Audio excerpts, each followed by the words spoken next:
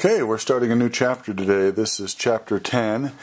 It's entitled States of Matter, and we begin by a discussion on the kinetic molecular theory of matter. Now, basically, what the kinetic molecular theory of matter is saying that is that all particles, now those particles can be um, molecules,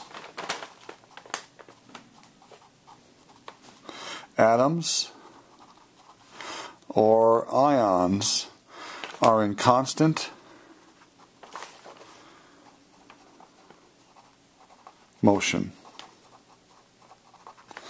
Now, uh, your book lists uh, five postulates to this theory, or five parts to this theory, and I want you to compare the ones that I'm about to give you um, to those found on pages 329 to 330 of your text. So compare these to the five mentioned in your book. Um, so compare to those in your text. Pages 329 to 330. Uh, I expand mine just a little bit. So, number one, all matter is composed of small particles, um, as stated above, molecules, atoms, or ions. The molecules of gases are specifically separated from their neighbors by distances much greater than the size of the individual molecule. So between gas particles there are huge distances. Number three, the volume of the individual molecule turns out to be so small that the molecule itself, that volume, is considered to be insignificant compared to the volume that the gas occupies. Number four, uh, the particles are in constant random straight line motion and they continue to move in this straight line until they collide with other particles or the walls of their container. Uh, the collisions are elastic. That simply means that there's no change in the total kinetic energy between the two particles before and after they collide with each other or the walls of their container. Number six, the average kinetic energy is the same for all molecules so long as the temperature is the same. Now, the key word here is the average kinetic energy, and we're going to talk about that in just a few minutes on the next page of our notes. This kinetic energy is directly proportional to the Kelvin temperature. Now, that's a new temperature scale, and we're going to talk about that, um, introduce that in this chapter, and use it for the remainder of the year. So, once again, the kinetic energy is directly proportional to the Kelvin temperature of the substance. Now let's first list a few properties of gases, then we'll list a few properties of liquids and get a few vocabulary terms out of the way. Now, um, your book in chapter 10 begins talking a little bit about gases and lists some properties. I'm just going to write a few of them down. Number one, as you probably already know, gases are easily compressed there is so much distance between these molecules that we can actually push them together and compress them so that those molecules are closer together. Number two, um, gases occupy the volume of their container.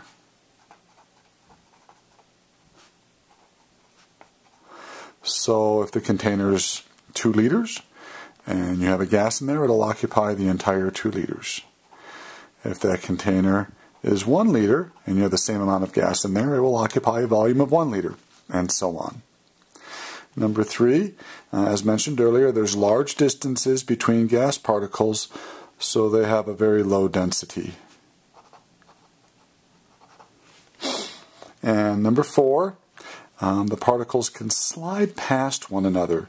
So we say that gases flow easily. Now, when we get to chapter 11, we're going to talk more specifically about real gases versus ideal gases. Now, the difference between a real gas and an ideal gas is, is, is that real gases tend to be attracted a little bit to one another. So they take on um, some liquid properties. So the difference between a real gas and an ideal gas is that real gases have an attraction or an attractive force.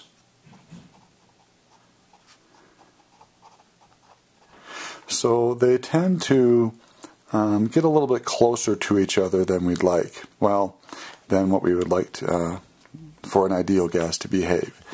So real gases are attracted a little bit to each other. They take on oh, some liquid properties, particularly when the temperature gets low and the pressure gets high. They start behaving more and more like a liquid. Now, liquids, um, let's list a few of their properties. And you're going to see that there are some that are similar to gases. Number one, they have a definite volume. So they don't necessarily occupy the volume of their container. As you well know, if we have um, a two liter bottle and we pour one liter of a liquid in there, the volume will be one liter. It won't occupy the entire volume of the container um, like gases would. Uh, liquids have no definite shape, so they take the shape of their container. So take shape of the container that they're in. Number three, um, they cannot be compressed as easily as gases. So I'm just going to write they cannot be compressed. Now that really isn't completely true, but the amount of compression is so minimal, we're going to say it's negligible. So we're going to say that liquids, the particles are so close to each other that it's hard to push them closer to, uh, together than they already are. And their particles can slide past each other just like gas particles can. So liquids flow easily, just like gases. And of course, as you well know, some liquids flow more, flow more easily than other liquids. Now, a couple of vocabulary terms we need to get out of the way. Uh, number one is something called surface tension. Now, if you look this up in your book, it says something like this. It says the force that pulls um, adjacent parts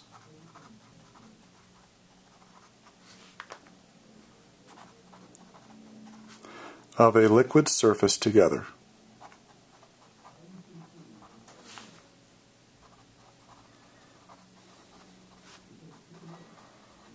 So the force that's pulling liquid molecules towards each other, that's called surface tension. Now this causes things like droplets of water or droplets of a liquid to take on a spherical shape. That spherical shape allows them to occupy the smallest volume possible because they're being pulled towards each other. Another vocabulary term that you actually might be familiar with is something called vaporization. And so vaporization is simply a process by which a liquid or solid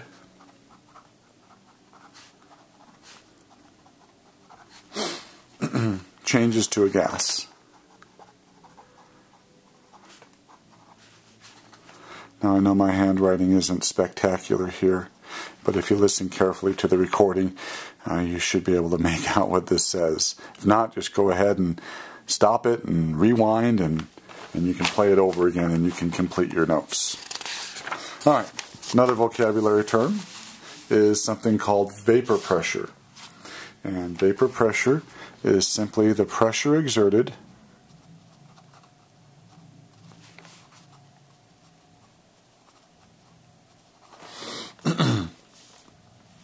by a vapor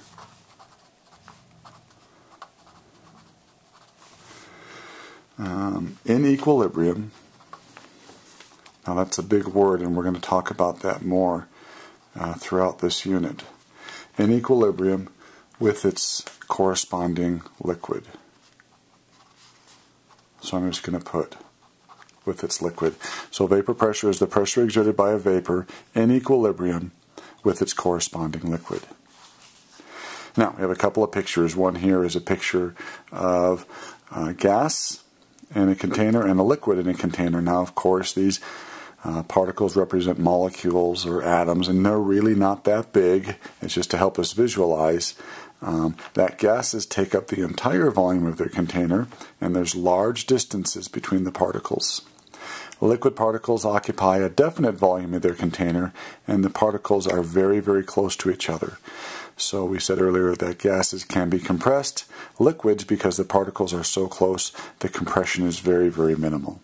Now, in a given sample of a liquid at a given temperature, the average kinetic energy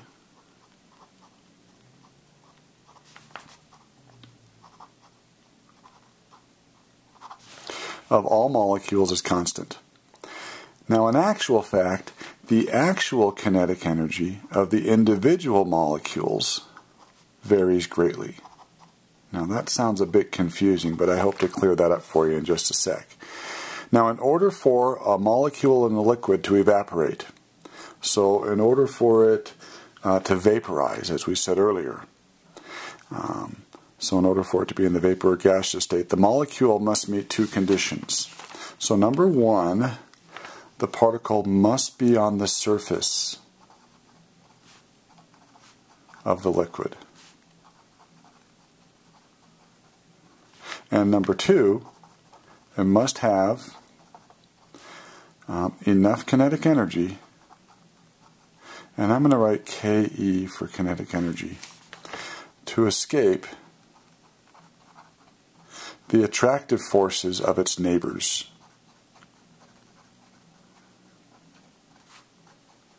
So I'm going to say to escape the attractive forces of the neighboring molecules.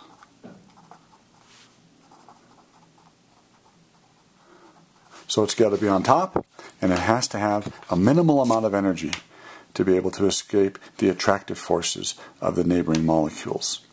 Now it turns out that only a certain number of molecules have enough energy to escape the attractive forces of their neighboring molecules, and of course evaporate. Now we're going to look at this graph in just a minute.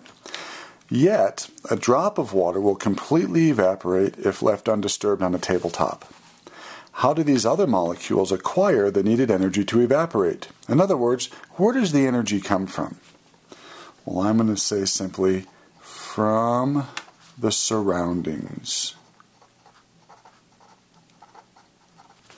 Let's take a look at this graph over here. Now, um, T2 is this darker line right here, and that is a temperature that's higher than T1, which is this lighter line right here. Now this arrow represents the minimal energy needed to evaporate. So the molecules have to have at least that much energy to be able to evaporate. Now, of course, they also need to be on the surface of the liquid, but they also have to have that amount of energy. Now, you'll notice that um, the, uh, the kinetic energy of individual molecules vary greatly. At the lower temperature, some molecules have this much kinetic energy. Well, some also have this much kinetic energy. So it's interesting to note that the average kinetic energy remains constant right here, but some have low energy, some have high. Let me give you an example. Um, let's say that my class takes a test or a quiz, and the average on that quiz is 17 out of 20. Does that mean that everybody got a 17 out of 20? Of course not. Some of the students may have gotten a 1 or 2 or 3 out of 20. Other students may have gotten a 20 out of 20. So, some particles in a liquid on the liquid surface might have a lot of energy. Some might have a little, but at a particular temperature, the average remains constant. Now notice as the temperature increases, so that's this darker line here, the average kinetic energy increases, and more molecules have the energy required to escape the surface of the liquid. So, over time, if I were to observe a droplet of water, there's a really bad picture of a tabletop with a droplet of water sitting on its uh, on the surface of the tabletop. Some of these molecules on the surface might have enough energy to evaporate. Okay, they would be those over here. Now, once they leave, won't other molecules below the surface be able to take their place? And eventually, since the average kinetic energy stays constant, once this guy leaves, if the average remains constant, some others have to gain energy, and they get that energy from the surroundings. So eventually, all the molecules, if that kinetic energy remains constant, will be able to have enough energy to escape the surface of the liquid. Once again, those that leave have high energy. Those that remain behind have lower energy. So in reality, evaporation is a cooling process. Which is quite interesting. Evaporation, if you think of getting out of the swimming pool on a hot summer day, even though it's 90 degrees outside, you might shiver. Well, why are you shivering? Well, because evaporation is occurring. The molecules of water on the surface of the droplets of water on your body leave. Now, which ones leave? Well, those with high energy. What does that leave behind? Those with low energy. So, these with low energy eventually have the energy to evaporate. Where does that energy come from? From the surroundings, which happens to be your body. So, your body can transfer that heat to those molecules.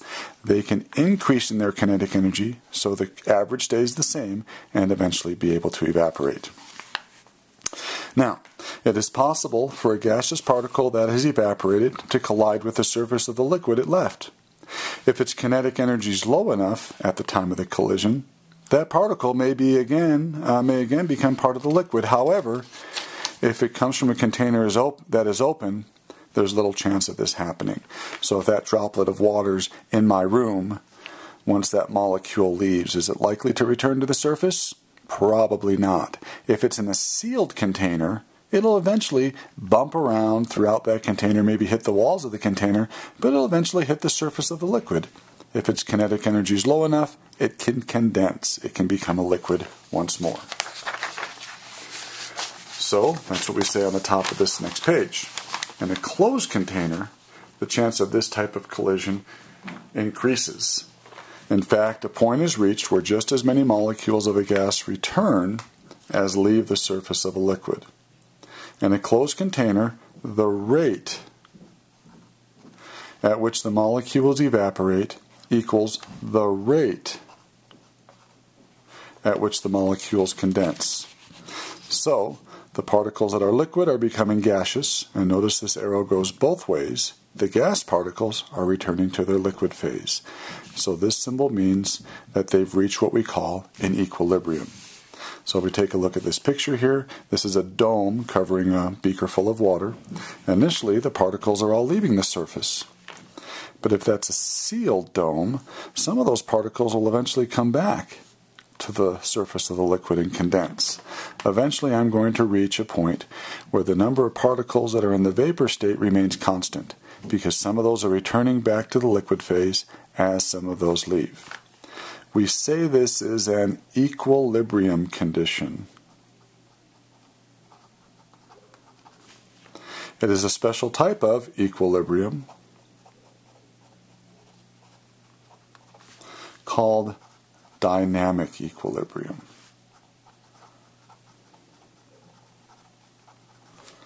Okay, and that will wrap up the first part of our lecture on chapter 10.